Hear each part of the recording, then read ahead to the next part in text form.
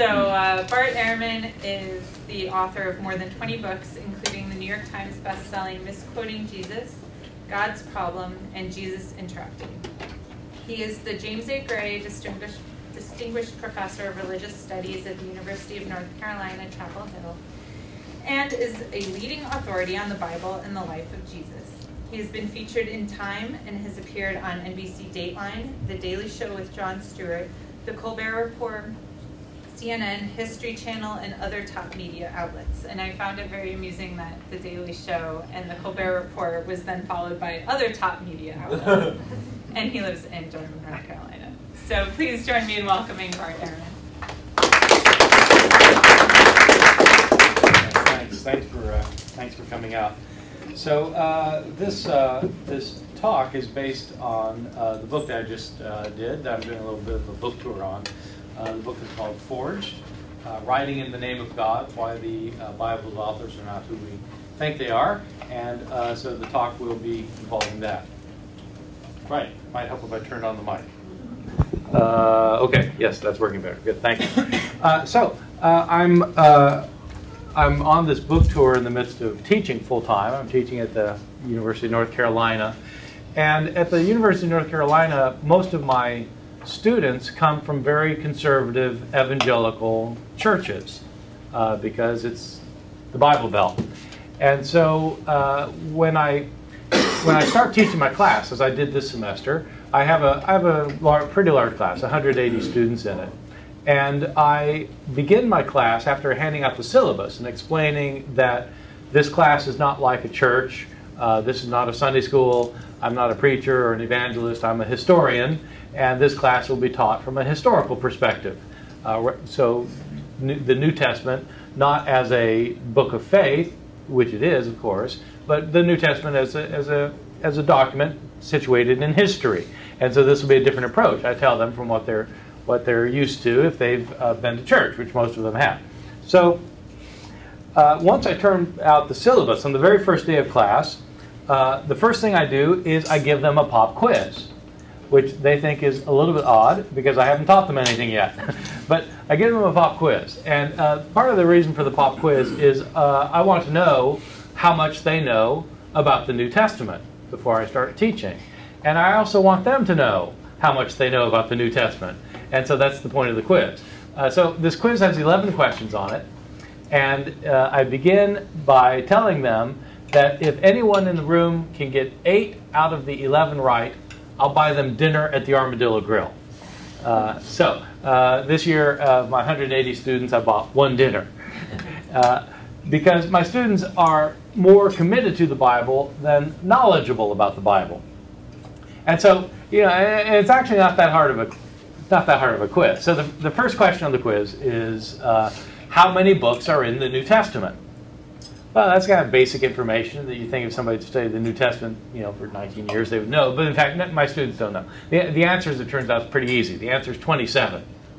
And uh, the reason that's easy is because when you think about the New Testament, you think about God, you think about God, you think about the Christian God, the Christian God, you think Trinity, and what is 27? 3 to the third power. So, uh, you know, it's, it's a miracle. so, uh, uh, so then the next question is, in what language were these books written?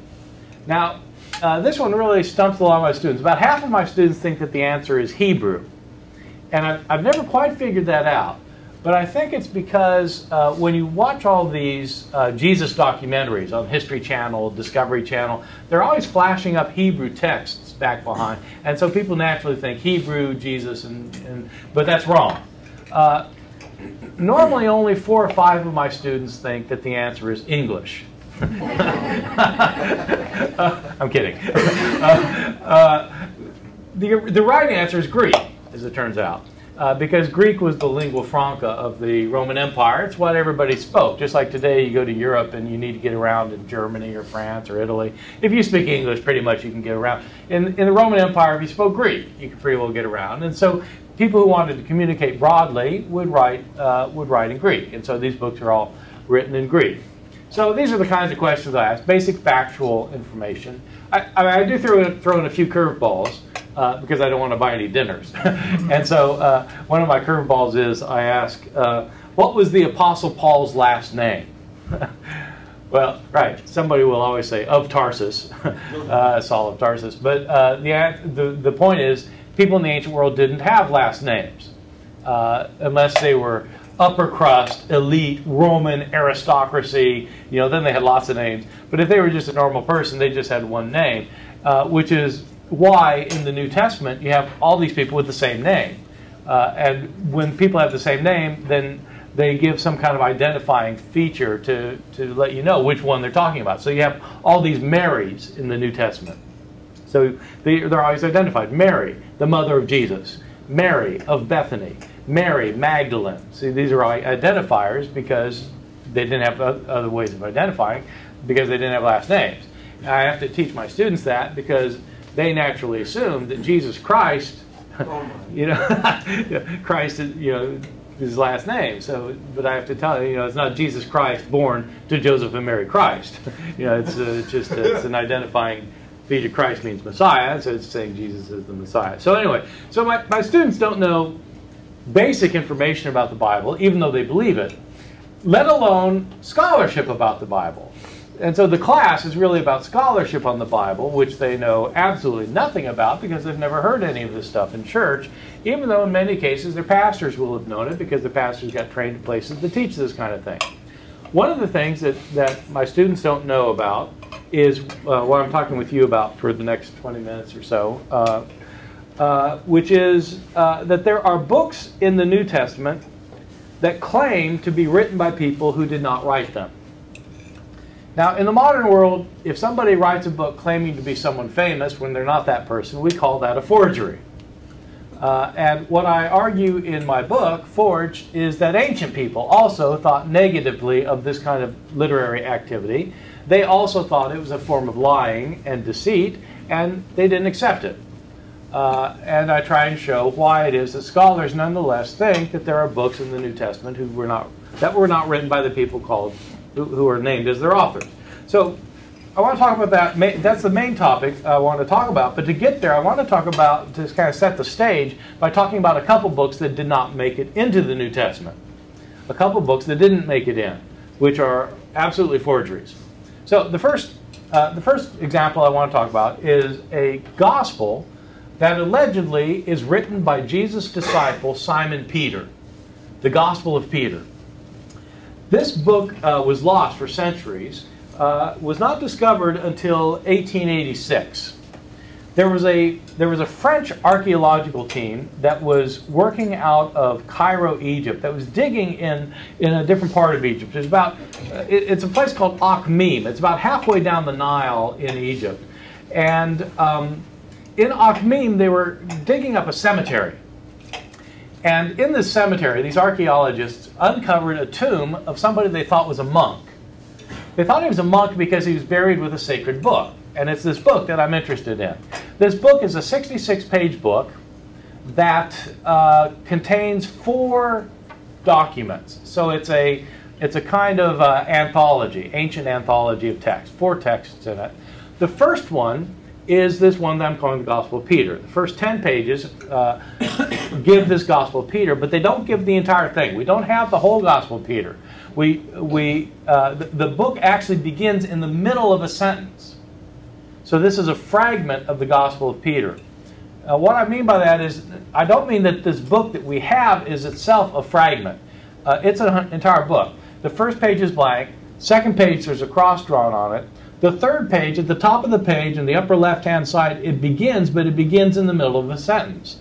So the scribe who was copying this book, probably in the 6th century, the 6th century scribe who copied this book was copying what was a fragment. Okay? So the book isn't a fragment, he was copying a fragment. The book begins with these words.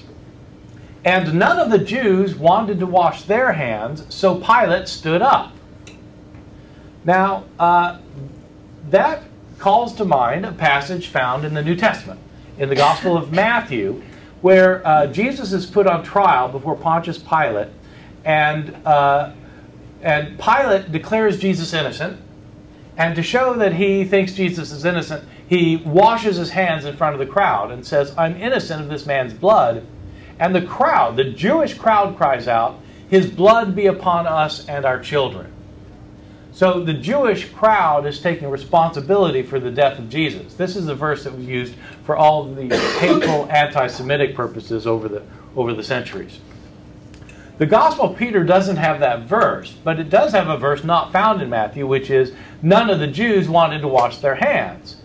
Well, what happens in this, in this account of Jesus' death is that the Jews are far more guilty for Jesus' death, even than they are in Matthew, Mark, and Luke. Uh, the Jews are more culpable in the death of Jesus. And so that's one of the themes in this gospel of this gospel of Peter. It's a very anti-Jewish form of the gospel. Uh, it is an account of Jesus uh, going on uh, trial being condemned, being crucified, and then being raised from the dead. Which, of course, is an account that you get in Matthew, Mark, Luke, and John in the New Testament as well. But in this account, there are many differences from the others. The most stark difference comes at the very end. The Gospel of Peter, unlike the other Gospels that we have, do not, uh, the, gospel, the Gospel of Peter narrates an account of Jesus being raised from the dead. And think, well, wait, Matthew, Mark, Luke, and John narrate Jesus being raised from the dead, right? No, they don't. In Matthew, Mark, Luke, and John, Jesus is crucified, he's dead, and then he's buried. Three day, on the third day, the women go to the tomb and they find the tomb empty. In other words, Jesus has been raised from the dead, but you're not given a story of it happening. There's no story of Jesus coming out of the tomb. But there is a story like that in the Gospel of Peter. And it's a terrific story. What happens is, according to this Gospel of Peter, uh, the authorities set a guard at the tomb of Jesus to make sure nobody comes to steal the body. And as the guard is guarding the tomb, they look up and they see the heavens rip open. And two angelic beings descend from heaven. And as they descend from heaven, the stone in front of the tomb rolls away by itself. They come down, they enter into the tomb, and then, as the guard is watching, three people come out of the tomb. Two of them are so tall that their head reaches up to the sky. The third is so tall that they're supporting him. His head reaches up above the sky. And after they come out of the tomb, behind them from the tomb emerges the cross. And a voice comes from heaven and says, Have you preached to those who are asleep? And the cross replies, yes. So here we have a giant Jesus and a walking, talking cross. How this thing got lost for centuries, I don't know. You'd think this would be one you'd want to keep, but but it eventually got lost. Well, uh, so so the whole thing is metaphorical, of course. I mean, the the reason these two angels are as tall as skyscrapers is because they're angels. They're superhuman. And so superhumans are really big. And Jesus is taller than them because he's even more superhuman. He's the Son of God. And so he's really tall. And the cross walking out, uh, that's a metaphor for uh, the, the question is did, did the message of the cross of Jesus go to those who are already dead? Have you preached to those who are asleep? The answer being yes. the message of Jesus' salvation on the cross has gone even to those who died before Jesus came on earth. And so it's a theological statement expressed through a metaphor. All right, well, one of the other interesting features of this Gospel of Peter is what happens at the very end. Because at the end, the author identifies himself. The last verse of the Gospel of Peter says this I, Simon Peter, and my brother Andrew decided to go fishing. And with us went Levi, the son of Alphaeus, whom the Lord. And that's where it stops. so it stops right in the middle of the sentence. And so you're not sure exactly what's going to happen next, but it looks like what's going to happen next is they're going to go fishing, they're going to see Jesus raised from the dead, and, and have a conversation with him, we guess. But it stops there. But for my purposes, the interesting thing is the author identifies himself. I, Simon Peter. That's striking because Matthew, Mark, Luke, and John in the New Testament are written by authors who do not identify themselves. The, the Gospels in the New Testament are anonymous. Only later, people said, oh yeah, this one's written by Matthew. This one's written by Mark. This one's by Luke. And then later, scribes put in titles of the gospel according to Matthew.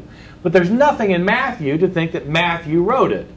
Uh, there's no first person narrative. Never, the author never says, you know, one day P- Jesus came up to me and we went to Jerusalem and we did this, that, or the other. It's all the third person narrative. Not the Gospel of Peter, though. The Gospel of Peter is written by somebody claiming to be Peter. But this Gospel was certainly written sometime in the early second century, at least 60 years after Peter was dead. This is somebody claiming to be Peter knowing full well he wasn't Peter. In other words, it's somebody lying about his identity. In the ancient world, they would call that kind of writing a lie, a pseudos. In modern terms, we would call it a forgery, somebody claiming to be someone other than he was. New Testament scholars have long claimed that this kind of literary activity of claiming to be someone other than who you were was both widespread and acceptable in the ancient world uh, one of the things I try to show in my book is that, in fact, it was widespread, but it was not acceptable. Ancient people said very nasty things about this kind of literary activity. They didn't approve of it. They thought it was deceitful, deceitful, and they, they, they weren't in support of it. So, uh, okay, so that's the Gospel of Peter. I'll give you a second example uh, from outside the New Testament of a book allegedly written by Peter. This time it's called The Apocalypse of Peter. The Apocalypse of Peter, as it turns out, is also in this 66 page book that these archaeologists discovered in Egypt. In some ways, the Apocalypse of Peter is more interesting even than the Gospel of Peter. The Apocalypse of Peter is the first instance we have of somebody being given a guided tour of heaven and hell. So uh, you, you, you, probably know about this idea of the guided tour of heaven and hell from Dante's Divine Comedy. Well, Dante didn't make up the idea of a guided tour of heaven and hell. Uh, it's, it's an old motif that goes way back in Christianity, and the earliest instance we have of it is here in this Apocalypse of Peter. In the Apocalypse of Peter, it's Peter himself who is given a first-hand account, who gives a first-hand account of this uh, guided tour of heaven and hell. Uh, Peter is given a tour by Jesus himself to show him the realms of the blessed and the realms of the damned. Now, the interesting thing about the Gospel of Peter is that, like a lot of other guided tours of heaven and hell, the description of the realms of the blessed of heaven are really not all that interesting. And the reason is because there's only so many ways you can describe eternal bliss. I mean, people in heaven are happy. You know, blessed are the saints in the heavenly realm. Yay, blessed are they. Oh, happy, blessed are the saints. Yay, joyful, blessed, happy are they. I mean, they're happy. It's great. They're in heaven. I mean, how good can it get? It's as good as it gets. It's great. So, you know, the description is not all that interesting. But if you have any creative imagination at all, and want to describe the torments of the damned, you can come up with some really interesting uh, accounts, and that's what happens here. Uh, so the, the descriptions of the realms of the damned are, are much more interesting, and uh, what happens in the realms of the damned is that many people are punished according to their characteristic sin. So whatever, whatever was their characteristic sin while alive, that's how they're punished after death. And so Peter sees a place where, uh, where the blasphemers, are being published, punished. And they're being punished by uh, being hanged by their tongues over eternal flames because they lied against God. And so they use their tongues against God. So they're hanged by their tongues over eternal flame. It goes to another place, and the women who braided their hair to make themselves attractive to seduce men are hanged by their hair over eternal flames. The men they seduced are hanged by a different body part over eternal flames. And in this case, the men cry out, we didn't know it would come to this, as you can well imagine. So, so you get the, you get this description of the realms of the blessed, the realms of the damned, and it claims to be written by by Peter himself. Uh, the point of the, the account is pretty obvious. If you want to uh, enjoy the blessings of heaven and avoid the torments of hell, then don't sin. Okay, so I mean, it's you know, that's just kind of a simple lesson. But here again, we have an instance of a book that claims to be written by Simon Peter, Jesus' right hand man, the, the main his head disciple. But it certainly was not written by Peter. It wasn't written until the second century, 60, 70 years, 80 years after Peter was dead. Somebody claiming to be Peter who wasn't. These are not the only two books that we have from early Christianity that claim to be written by Peter. We have other we have letters allegedly written by Peter. We have three other three other uh, apocalypses that claim to be written by Peter. Writing books in the name of Peter was something of a cottage industry in early Christianity. Is it possible that books written in the name of Peter made it into the New Testament? Well, as it turns out, there is there are two books that claim to be written in the New Testament by Peter, 1st and 2nd Peter. I'm going to argue in a minute Peter, that Peter didn't write those either. And I'm going to argue that there are other forgeries in the New Testament, books that claim to be written by somebody who did not in fact write them. First, let me say something about the prominence of forgery in antiquity broadly. As it turns out, it was a wide phenomenon. It did happen a lot in the ancient world, more than happens today. It still happens today. People still write forgeries today. Uh, but it, it's easier to detect forgeries today because we have all sorts of technologies and handwriting analyses and stylistic analyses. We have better ways of being able to detect forgery now than they had back then, and so people practiced it a lot more back then. But people did practice it back then. We know this because ancient people actually talk about it. And in almost every case that they say something about forgery, they condemn it because people didn't like it back then any more than you would like it today if somebody published a, a, letter or a book in your name claiming to be you when they weren't you. Well, they didn't like it in the ancient world either. Let me, let me give a couple of uh, anecdotes to explain how ancient people thought about forgery. The first involves a non-Christian just to show you that, that this phenomenon happened in the it happened in the Roman world, it happened in the Greek world, it happened among the Jews, it happened among the Christians. Forgery was a widespread phenomenon. Give you a non-Christian example, a Roman example, a guy named Galen. Galen was a very famous author in the second Christian century.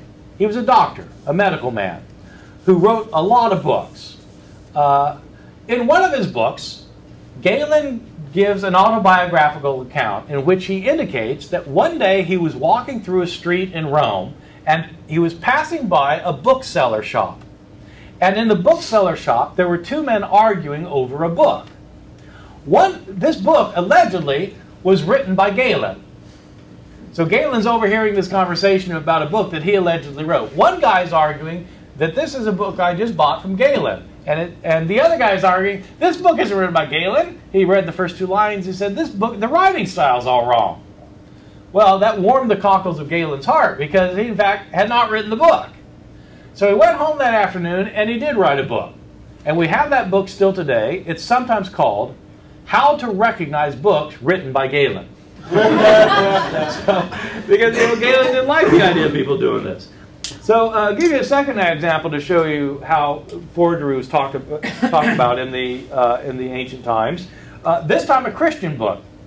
There's a book called the Apostolic Constitutions. It's a book that scholars can date pretty precisely uh, for, because of things inside of it to around the year 380.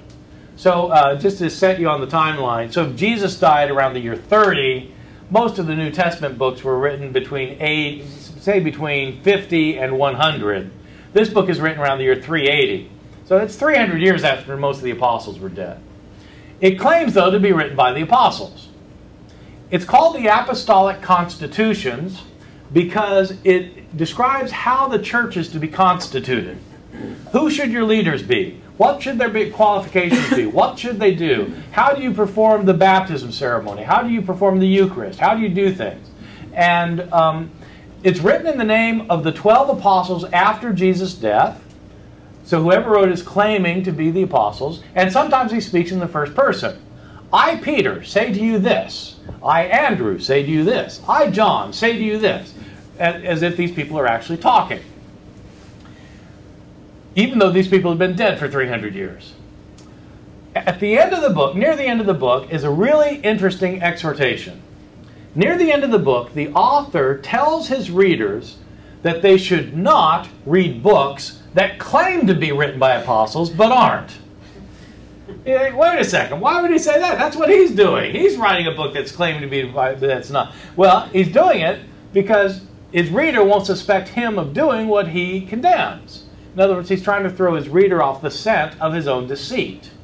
So the question is, how widely was forgery condemned in the ancient world? Forgery was condemned in books that are forged. That's how widely it was condemned. Uh, just about everybody condemned the practice. So are there forgeries in the New Testament? Scholars have widely thought that there are books that are not written by the alleged authors in the New Testament. Scholars have been reluctant to call these things forgeries. Uh, scholars tend to call these things pseudepigrapha. Uh, pseudepigrapha spelled with a P in the front, pseudepigrapha, uh, P-S-E-U, pseudepigrapha. They, uh, they call them this because they don't want to call them forgeries. Uh, and if you call them pseudepigrapha, it's a much more antiseptic, antiseptic term. They don't tell you what the word pseudepigrapha means. What it means is writings that are inscribed with a lie. So it's really not much better than forgery, but it doesn't sound as bad. And so they call them the pseudepigrapha. Uh, scholars have long known, for example, that whoever wrote Second Peter, it was not Peter. There are debates about First Peter. A lot of scholars think Peter wrote First Peter, and I'm not one of them. Uh, doing my research for this book, I decided there's no way Peter wrote First Peter or Second Peter, and for a very simple reason: Peter could not write. uh, so uh, uh, there have been interesting studies of literacy in the ancient world that have shown uh, that most people were, were completely illiterate in the ancient world. At the best of times in the ancient world, maybe 10% of the population could read. In Roman Palestine, where Peter grew up, the literacy rate, by the best studies, has put it somewhere around 3%. That's of the people who can read. Fewer people can write than can read. Because reading and writing are actually separate exercises, even though we learn them together. In the ancient world, they taught them separately. So to be able to write, you had to be really highly educated. And so who are these 3%? They're the upper crust, very wealthy elite who are living in cities where they have schools. And who was Peter? Peter, according to the New Testament, was a lower class fisherman from rural Galilee who spoke Aramaic. Well, First Peter is written in highly rhetorical Greek. Was Peter somebody who would have gotten an education? No way. He probably was a fisherman, probably fished from the time he was a young boy. Didn't have time for school, had no money, wasn't in a place where they had schools. So Peter did not write First Peter. I mean, unless, I mean, the only option is that, you know, after the resurrection, maybe Peter decided to go back to school. And so he took classes at the Capernaum High School. And for his foreign language uh, class, he decided requirement, he decided to take Greek. And so he got pretty good at Greek. And then at the end of his life, he learned Greek composition, took some composition courses so that he could write First Peter. I mean, it's possible, but you know, people like Peter had other things on their mind besides writing, but besides learning Greek composition. I, I don't think Peter wrote First Peter right? because I don't think he was literate. Uh, by the way, the New Testament says that Peter was illiterate. Acts chapter 4, verse 13, literally says that he could not read. So, well, you know, I think he didn't. And I don't think that he told somebody else to write the letter for him, which is the solution a lot of scholars have come up with. That Peter told some scribe, oh, write a book for me, you know, and say this. And the guy wrote it down. We have no examples of that happening in the ancient world that, are, that can plausibly be applied to Peter. Whereas we have lots of examples of what I think this is going on here, which is somebody later who wants you to think he's Peter, and so he claims to be Peter, so you'll read his book. It's probably somebody who had no reputation, nobody knew he was, and he couldn't very well write a book in his own name because nobody would read it. So he wrote his book and he claimed to be Peter so people would read it, and he was highly successful. The thing ended up in the New Testament. I mean, that's about as successful as you can get. Uh, so 1st and 2nd Peter probably were not written by Peter. Um, there are 13 letters that claim to be written by Paul in the New Testament. 13 letters that claim to be written by Paul. Scholars are pretty sure that Paul did not write six of them. Six of them are not really written by Paul, but by people later claiming to be written by Paul. What I argue in my book, uh, oh, by the way, yeah, with Paul, we're in a better situation than with Peter. Paul could write. You know, we've got seven letters from him. But if you've got seven letters from somebody and you've got some other letter you're not sure about, all you have to do is to compare it with the seven. and you look at the writing style, the vocabulary, the theology that's in it, the, the historical situation that's presupposed. When you do that, these other six don't match up to the seven very well, and so it's probable that the same author did not produce them. So you get you get six letters that are not really by Paul. I would call those forgeries. Two letters by Peter I would call forgeries. The book of James is almost certainly not written by the brother of Jesus, James. Jude was certainly not written by Jesus' brother Jude. Uh, so there there are probably 10, 11, or 12 books in the New Testament that are forgeries. That's out of 27, over a third of the books. So it's a significant problem. Let me just uh, conclude by just saying a word about what might have been motivating these people to write forgeries. Because it's a special problem within early Christianity. It's a problem because Christians insisted that God was truth, that Jesus was the way, the truth, and the life, that you had to believe the truth if you're going to be right with God, that as a Christian you should speak the truth to one another. And so, why would an author who believed that the truth was important, why would he lie about who he was? So the reality is we'll never know what was motivating these people. But I do have a guess that I think is a pretty good guess, um, which is this. There were people in the ancient world, just as there are people today, who thought that there are some situations in which it was the right thing to do to tell a lie that sometimes it's right to lie. You yourself can imagine situations where a lie is the appropriate thing to do. In the ancient world, people like Plato said if a doctor has to lie to his patient in order to get her to take his medicine, to, to take her medicine, that's a good thing. That's a good lie. Or if a general is in battle and his troops are getting beaten and he needs to rally them, it's okay to lie to them to say that reinforcements are coming so that they'll fight more valiantly. That's a good lie. There are places where it's appropriate and good to lie.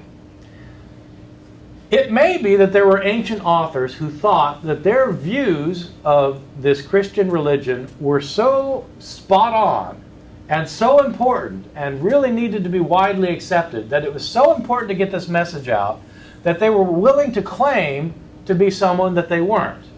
They're willing to write a book and claim to be Peter or Paul or John or Matthew or, or Judas or Mary and so forth. It's possible that they thought that this lie was justified because of the importance of their message. If so, then we have this very interesting irony that some early Christian authors thought that in order to convey the truth, it was appropriate to tell a lie. Thank you very much.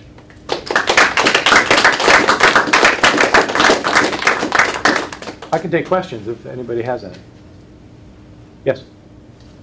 Do you have any theories about the mechanism by which this happens? I'm trying to, I want a lot of people to read a letter that I claim comes from Peter. Do yes. I send it by mail and uh say, hey, I dug this up from somewhere, it looks uh -huh. interesting, yeah. maybe, you know, it claims to be from Peter, maybe it is, but I don't know where it came from. Yeah. What do you think? Or what, what would... Yeah, right, right. So there are various mechanisms that we know about. Um, there might be some that we don't know about, but we do know about some. One involves what you alluded to, the idea of a discovery, that you discover something. And so the most, the, the most interesting instance of this is in a, an apocalypse, which is you know a revelation from God that comes directly to a person, an apocalypse. An apocalypse of Paul, uh, where Paul describe Paul is taken up into heaven and he sees the heavenly world and he describes it for his readers. Uh, this book claims to be written by Paul, but again, it's from the fourth century. Uh, it was is written near the end of the fourth century, so probably 320 years after Paul is dead. But it claims to be written by Paul. So the author, though, had this problem that he, he wrote this thing at the end of the fourth century. Nobody had ever heard of it before, and he wanted to put it in circulation, but people would ask, you know, where's it been? I mean, this. So he actually begins the narrative with a discovery narrative, in which he says that there was a man who was living in the city of Tarsus, Paul's town, uh, in the end of the fourth century, who actually lived in Paul's old house. And one night he had a dream. An angel came to him in a dream and told him to dig up the foundations of the house. And he ignored the angel. Second night, the angel comes back, tells him to dig up the foundations of the house. He ignores him. Third night, angel comes back, beats him to a bloody pulp, and tells him to dig up the foundations of the house. And so he does. He goes down, he digs up the foundations of the house, and he finds a box, a marble box that is sealed with lead. And so uh, he doesn't know what to do with it. He takes it to the local governor, explains what happened. The governor doesn't want to touch it, takes it to the Roman emperor. The Roman emperor opens it up, and there's a book inside of it. And here's the book. And so, so, and so this explains where the thing has been for the last 300 years. It's been buried in the foundations of this house. So sometimes you get a discovery narrative. You don't get that very often, but sometimes, and they're great when you get them. The more common thing, I think, was a couple things to a couple things to bear in mind. First, uh, there is no postal service, uh, so you can't just kind of send in the mail someplace. The way things, and second of all, there's no mass production of books.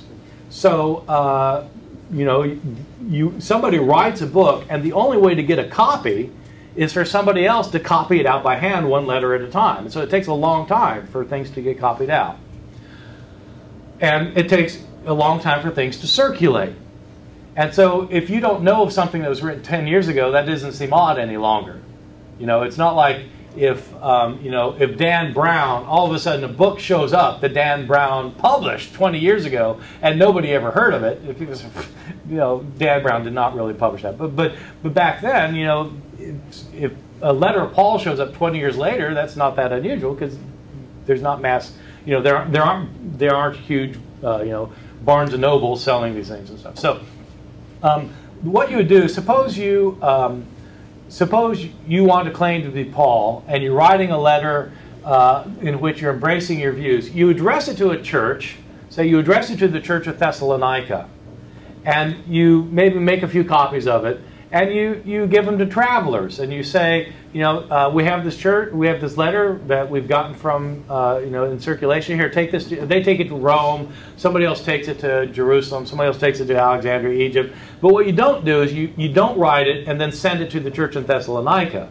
because they, they know they never got this letter.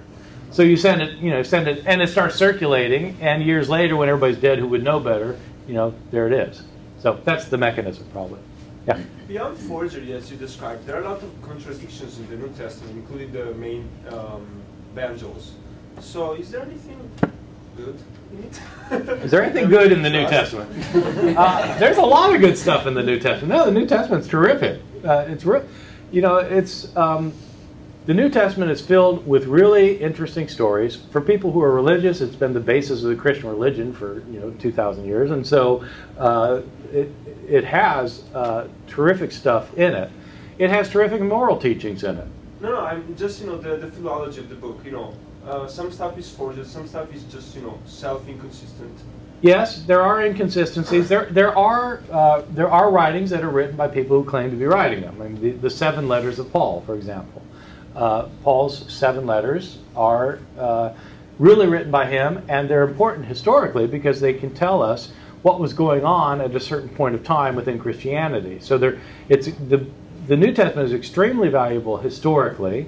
For many people, it's valuable religiously, and I think it contains a lot of important ethical teaching. But you're absolutely right; there are a lot of contradictions as well, because different authors had different points of view.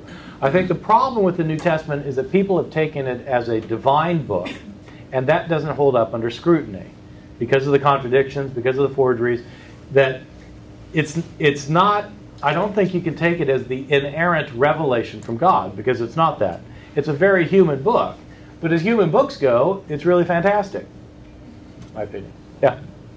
You say in a, a lot of the stuff you've been talking about, you know, the you quote various dates that, that the various books were written. How do you actually arrive at those dates? How do you Yeah. know, you know, the four gospels were written between, you know, 50 and 100? Yeah, right. Yeah, right. It's complicated, but you know there there are scholars who spend years trying to figure this kind of stuff out. So I mean, there's actually scholarship involved.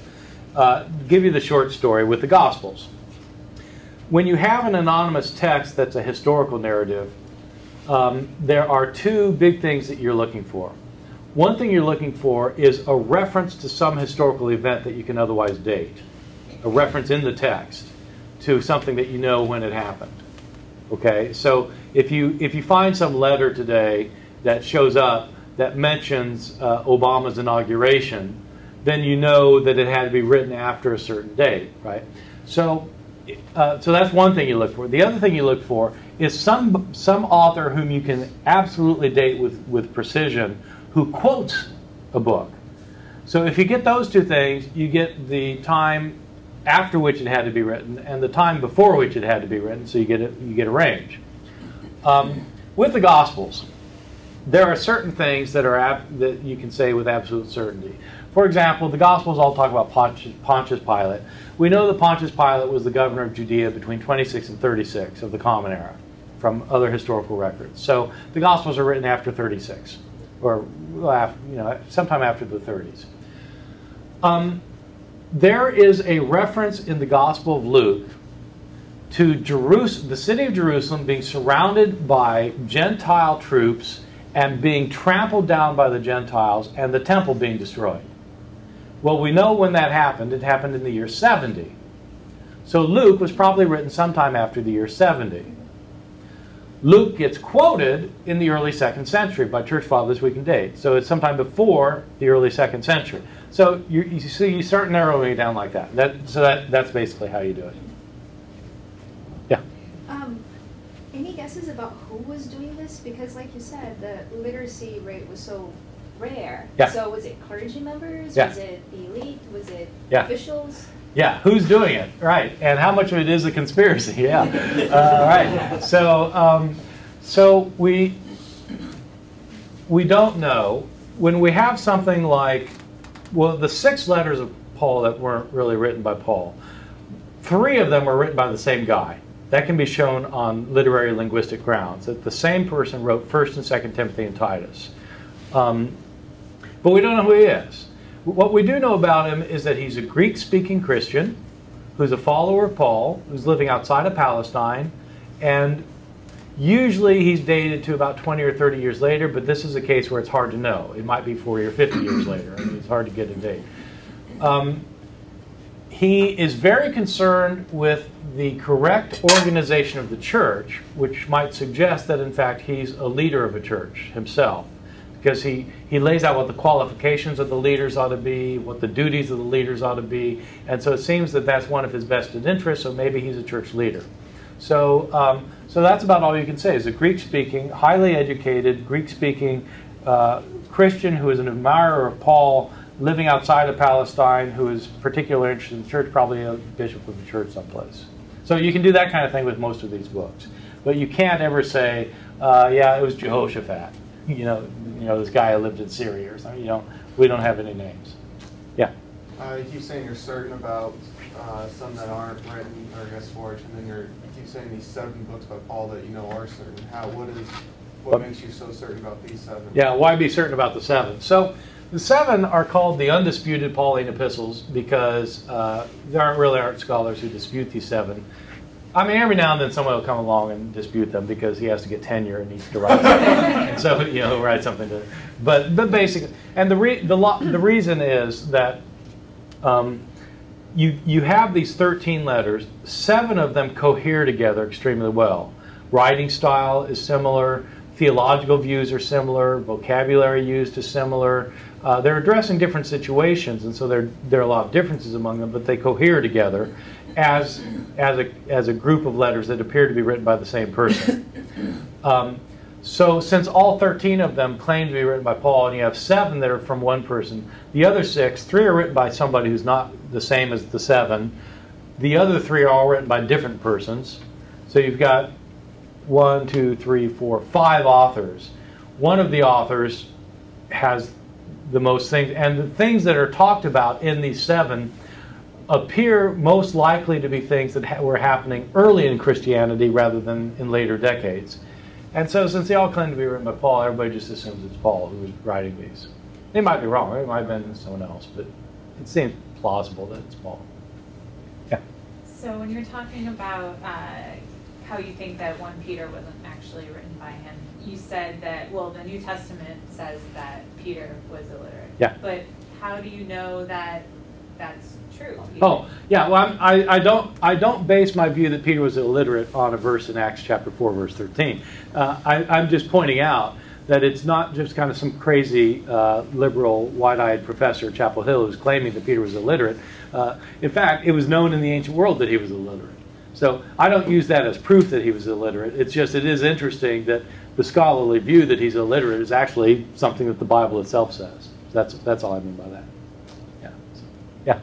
In, in all of your research on um, various writings that have been forged, have you come across anything that kind of peers through the looking glass the other way, like things that are genuine that never made it into the Bible or have Ah. kind of just been lost to antiquity? Yeah, yeah, it's a good question. So um, there's nothing, there's nothing by the apostles that's outside of the New Testament that would that should have been put in, because because again, most of these apostles couldn't write anyway. We have other letters that claim to be written by Paul outside the New Testament that are, that were certainly not written by Paul. Um, we do have orthonymous writing. But orthonymous is the word for a writing that actually is written by the guy who's claiming to, to write it. Uh, so we do have orthonymous writings from outside the New Testament that are very valuable. Um, some of which were almost included in the New Testament. Um, we have seven letters by a bishop of, of, um, of Antioch in Syria, a guy named Ignatius. Uh, seven letters written soon after the books of the New Testament. We have a um, we have a we have one book that almost made it in is a very long book. It's longer than any books of the New Testament. That is a kind of a revelation that's given to a guy named Hermas, the shepherd of Hermas. That even in the fourth century, some church fathers thought should be in the New Testament, but eventually it was excluded. It's probably excluded because it just, it's just so long, and and it's really, frankly, a bit boring. Uh, that I think people just decided not to mess with it anymore. So, but there's there's there's nothing by an apostle that we have outside the New Testament yet. Any other questions? Okay, well, thank you very much. I've enjoyed being with you.